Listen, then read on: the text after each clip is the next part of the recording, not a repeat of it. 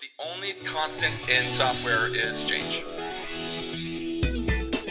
Welcome to the MongoDB podcast. This is the podcast where we talk about software development, data, and all things MongoDB.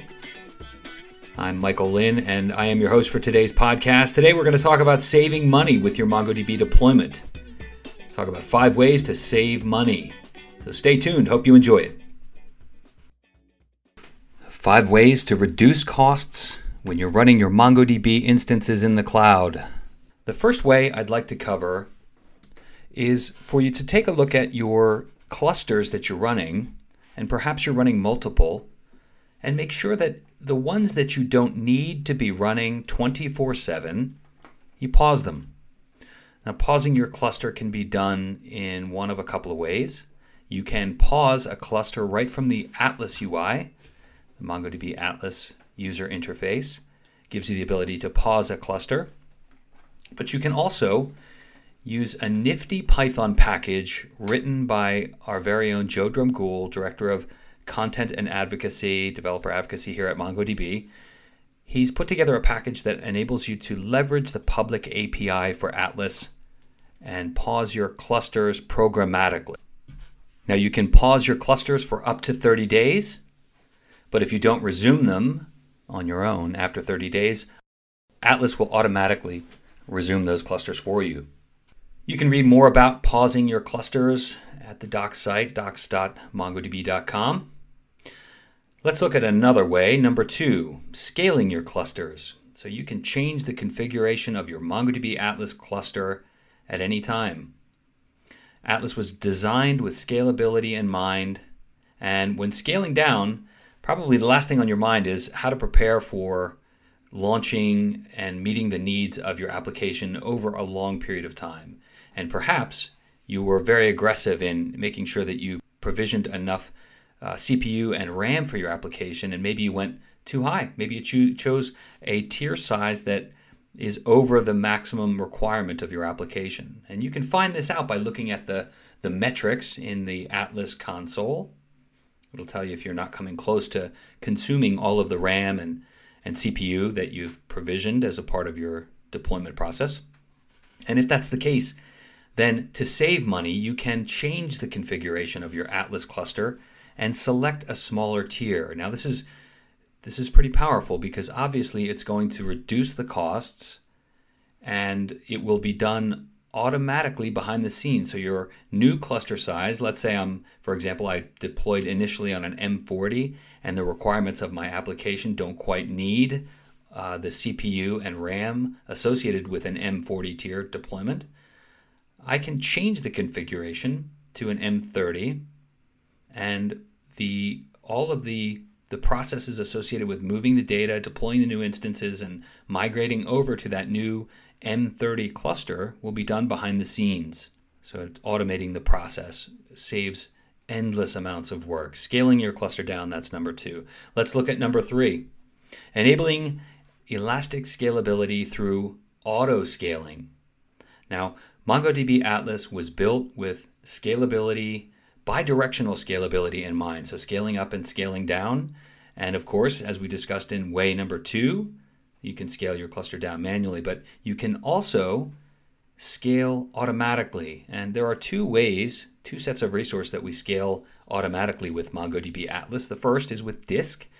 We can enable disk auto scale. Now that works in one direction. So we provide additional disk space to your clusters. Optionally, if you choose disk auto scaling, will add disk space to your cluster in the event that you're running out of disk. Pretty powerful to avoid application outages. Now, the second way is for us to enable compute auto scaling. So that means that you're going to be able to select a large or an upper limit, a maximum size cluster, a maximum tier, and a minimum tier size for your application, for your MongoDB deployment. And what's going to happen is Atlas is going to evaluate consumption of those resources along two key metrics CPU utilization and memory utilization. And depending upon your utilization of these metrics, you will be able to automatically scale between cluster sizes, be- between cluster tiers. So this is available. Compute Auto Scale is available on M10 tier and above for Azure and GCP, and all general clusters M10 and higher on AWS. So to enable this, you go into the MongoDB Atlas UI and select Autoscale Cluster Tier. And that'll give you the ability to select an upper limit and a lower limit. You'll be able to uh, choose the tier size for both the minimum cluster size and the maximum cluster size. There's a drop down to select those tiers. And you'll also, in that same auto scale section of the configuration, be able to select storage auto scaling. So, how does that work? Well, your application is going to be consuming CPU and memory. Atlas is going to evaluate the consumption of these two key metrics. And here's the rule set. So, if you're wondering how it evaluates whether or not to execute a, an auto scale operation, let's look at let's look at moving down to a smaller instance, for example. So Atlas is going to check CPU and memory. And if these two conditions are met, it's going to execute an autoscale operation. The first is the average CPU utilization and memory utilization over the past 72 hours has not gone over 50%. And the cluster has not been scaled down manually or automatically in the past 72 hours. So if those two, two conditions are met, then an auto scale operation will be executed. Can learn more about this in the docs as always, docs.mongodb.com. I'll place a link in the show notes if you want to learn more about that. So that's way number three, enabling compute auto scaling. Let's look at number four. This one is obvious. It's uh, I call it cleaning up and optimizing. Now, you're always going to want to be doing this, but some of us, uh, me included, I'm, I'm somewhat messy at times and I launch and deploy sample data sets. Perhaps I, I work on a, a given business problem for a while and then I get distracted and move on and forget about that data that I've been working with. It's important if you want to maximize the efficiency of your deployments and reduce your expenses, take a look at the data that you're storing, especially if you have backups enabled. Now, you don't want to be backing up data that you don't need. So, on a regular basis, make a plan to evaluate the data sets, the databases that you have deployed in your clusters. That's way number four clean up and optimize. Way number five terminate your clusters. Now, obviously, you can't terminate all of your clusters if you have active applications. Your, your, your users are, are going to be pretty upset if they don't have access to the data. But what I'm suggesting is that perhaps you've deployed more clusters than you typically need to be available at any given time. Perhaps you worked on a, a, a problem or a, an opportunity or a project and that cluster is no longer needed.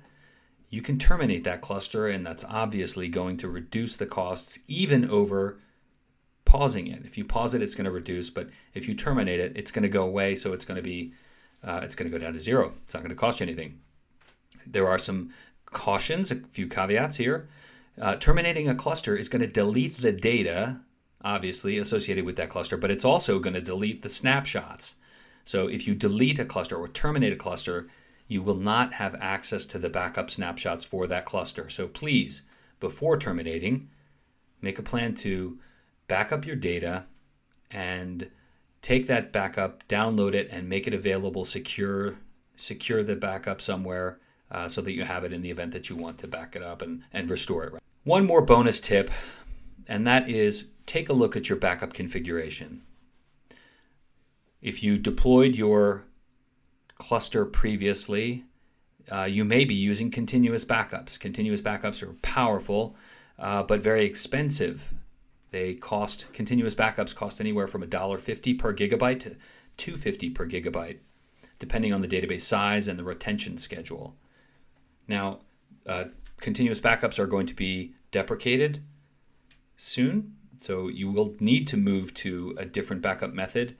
That, that backup method is called Cloud Provider Snapshots. Now, this is going to be a much more cost efficient way to back up your data uh, comparatively. So rather than $1.50 uh, to 250 per gigabyte, it's going to be about 14 cents per gigabyte. So Cloud provider snapshots provide localized backup storage using native snapshot functionality of the cloud provider you're using, so AWS, GCP, or Microsoft Azure. So there you have it. Five, actually, six with the bonus tip ways to reduce your expenses while managing your databases in MongoDB Atlas. I hope you found this this podcast episode valuable. I hope you'll save some money with it. Please check out the show notes for links to the documentation and to Joe's amazing Python library that'll allow you to pause and, re- and resume your Atlas clusters. You can find MongoDB all over social media at MongoDB. Check us out in the community. So you can join there. It's at community.mongodb.com.